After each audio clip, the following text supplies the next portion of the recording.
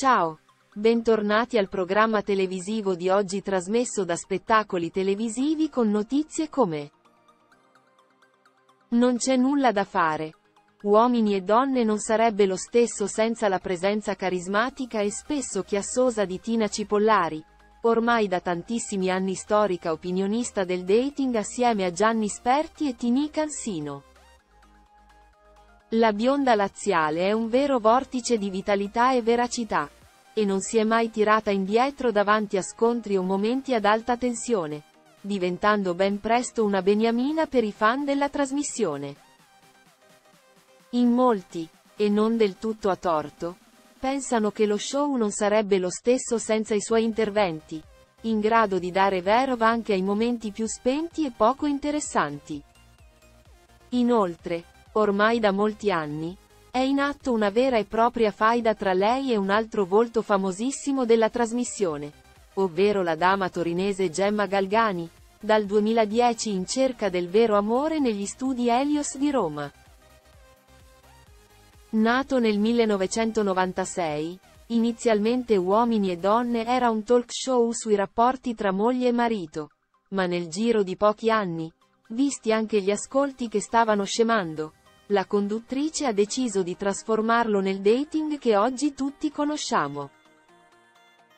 Il programma è attualmente una delle punte di diamante della programmazione di Canale 5, con punte giornaliere anche di 3 milioni di spettatori e ciò si deve anche in buona parte proprio a Tina Cipollari, che per la sua presenza riceve un cachet non da poco. Uomini e donne. Ecco quanto guadagna Tina Cipollari. I fan del programma si sono spesso domandati quanto venisse pagata la loro beniamina, immaginando cifre di non poco conto. E pare proprio che sia vero.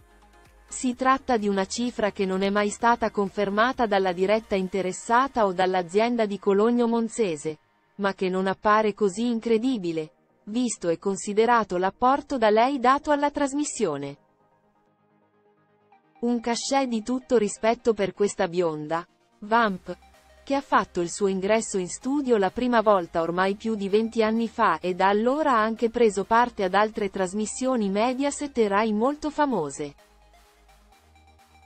Tina Cipollari non solo ha partecipato al reality Rai Il Ristorante, mettendo in mostra notevoli talenti culinari, ma ha anche preso parte a Selfie Le cose cambiano, prodotto sempre dalla Fascino PGT di De Filippi e condotto da Simona Ventura nel 2016 dove, inutile dirlo, per l'ennesima volta si è trovata di fronte la sua nemesi, Gemma Galgani. Un lavoro che di certo non immaginava di poter fare quando, ancora nel lontano 2001, decise di scendere per la prima volta le scale degli studi della Helios in qualità di corteggiatrice. La showgirl deve tanto a uomini e donne, che le ha stravolto la vita in tutti i sensi, non solo a livello economico.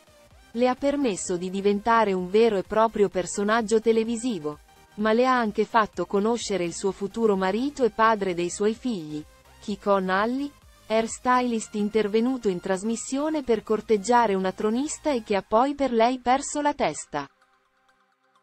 Ebbene, Stando al sito contocorrente.it. Cipollari prenderebbe da 1. 000 a 2000 euro a registrazione. Il che, considerando che ne avvengono due a settimana, significherebbe qualcosa come 4. 000 euro ogni 7 giorni, per un totale di 16.000 euro.